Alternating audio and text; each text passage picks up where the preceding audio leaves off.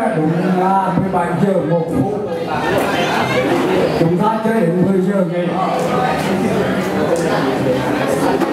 đề nghị chị Huyền ban nhạc lên cao với